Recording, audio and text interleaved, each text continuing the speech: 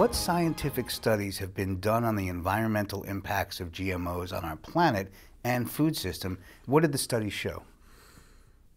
It's important to understand before we go into the details of the soil problems and the and the the non-target insects, etc., that pollution of the gene pool is irreversible.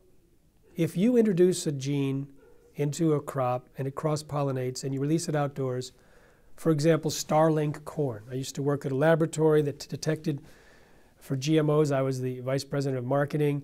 I got a call from the laboratory director. We found Starlink corn in taco shells. And I said, test it again, don't tell the client. It turns out it was illegal in human food and it resulted in a over a billion dollar recall and countries all over the world stopped importing US corn because it might have Starlink that was a uh, medium li- uh, uh, likely human allergen, medium probability, and it wasn't ever supposed to be part of the human food supply.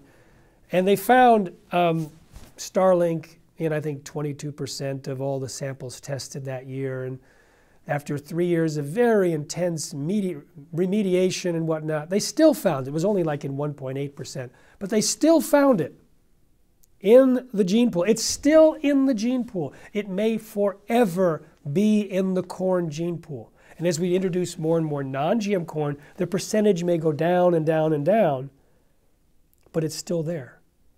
We can't do a hunt and gather, a search and rescue, a, an elimination. We can't do that with current technology to eliminate the gene that was inserted into corn that may be a human allergen, that may have caused people to have anaphylactic shock, that may still be killing people.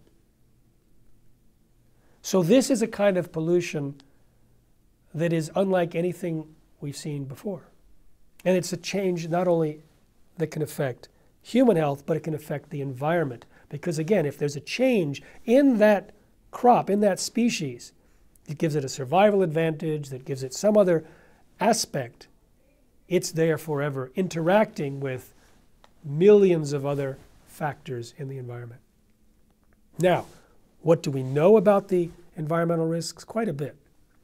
Roundup is doused on Roundup ready crops. Roundup is an antibiotic. It kills the beneficial bacteria in the soil. It promotes fungal pathogens. So, more than, I think, 60 different uh, plant diseases are rising in the US because of Roundup, because it promotes fungal growth. It takes the uh, minerals out of the plants, makes them weak, which changes the whole ecosystem when, because the ecosystem that relies on the nutrients of the plants becomes weakened. Um, the Roundup can remain stable in the soil for years or decades, the longest reported half life the, long, the time it takes for it to be degraded into 50% was 22 years. It's usually not that long, but it depends on the nature of the soil. Uh, it compactifies the soil so it creates more runoff.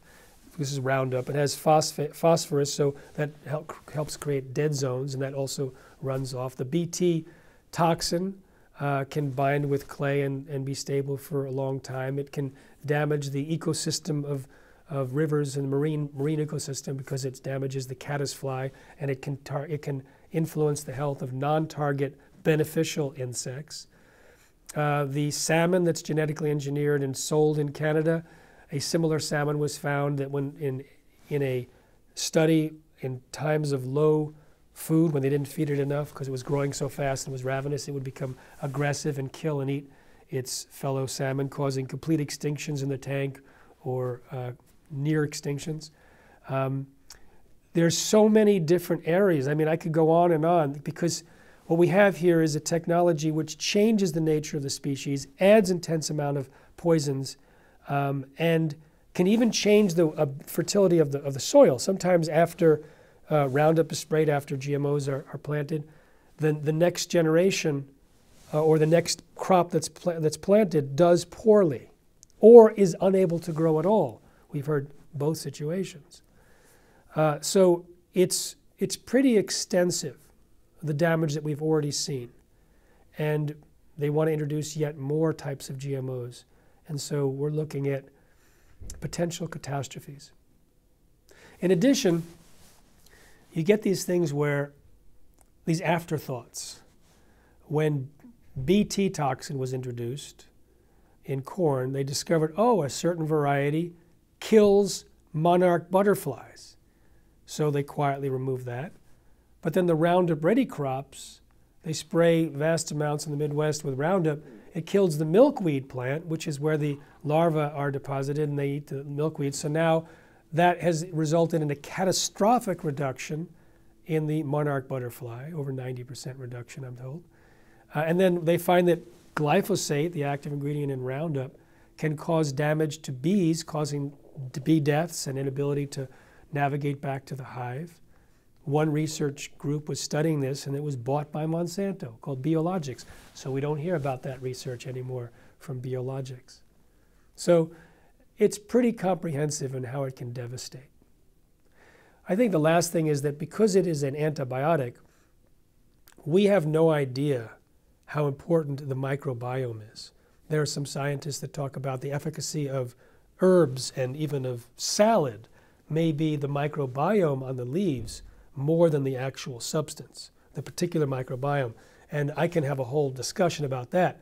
But the microbiome can be wiped out by antibiotics. And the biggest application of antibiotics in the world is Roundup and glyphosate based herbicides with, a, with an antibiotic that's known to kill beneficial bacteria, but not the nasty stuff. Tell us about the dangers of Roundup. Roundup damages the fundamental foundations of our health. If you look at the charts of diseases rising in the United States, more than 30 of them are rising in parallel with the increased use of Roundup sprayed on GMOs or on the increased acreage of GMOs. But Roundup in particular is, is identified as a likely cause of many of these particular diseases. Now, why is that?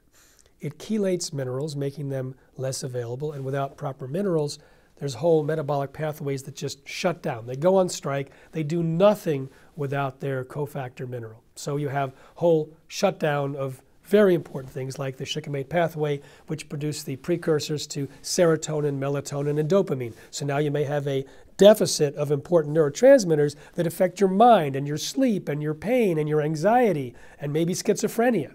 And all these are related to in terms of the correlative charts, which don't prove anything, but now we have plausible causative pathways that show how Roundup and glyphosate may be causing these things. So you have the mineral deficiency. It's an antibiotic. It kills the beneficial bacteria in the soil. It might cause a dysbiosis, a change in the balance of the bacteria of the body, which can lead to numerous diseases. It can cause gaps between cells in the body, turning our organs and tissues into sponges for toxins. And in the case of the gut, leaky gut. Leaky gut is linked to a long list of diseases, including autism, cancer, heart disease, Alzheimer's, Parkinson's, autoimmune disease, inflammation, and allergies.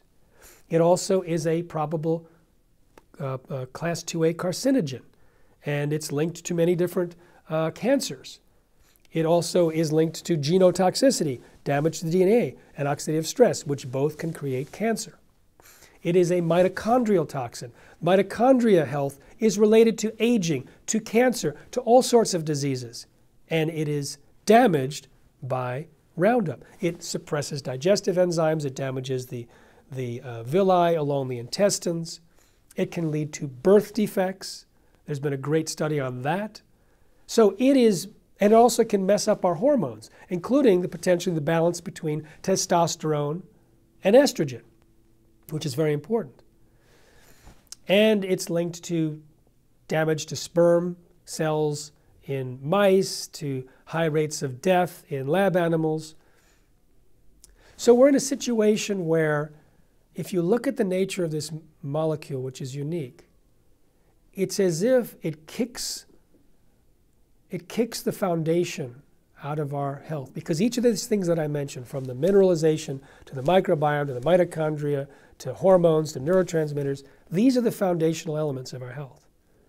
And Roundup is sprayed on a lot of different crops, not just GMOs. So that's why eating organic is really important.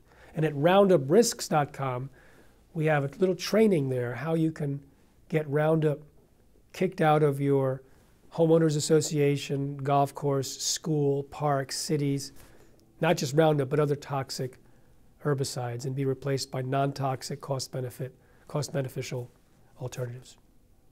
What you see is the importance of the Real Truth About Health conference. When Stephen told me he had an idea for a 10-day free conference called The Real Truth About Health, I was upset. I said, Who is going to be coming to the conference for 10 days? No one has that time. Um, but what it's evolved to is a platform for release of videos. And you have as many as 300,000 now, 300,000 views for a single video. So I kept complaining, saying, I don't think it's a good idea. You don't want to bring people from all over the world and have a small audience, and no one's going to be there for 10 days and whatnot. But it turns out in this digital age, I was wrong because it's actually now a digital platform. And it's a, for me, it's an opportunity to get to connect with people that uh, are on the same subject that I get to see while I'm here. So uh, I thank Stephen and the Real Truth About Health for getting the word out to large numbers. Even if we don't have thousands of people in the audience here, we have thousands of people in the audience there.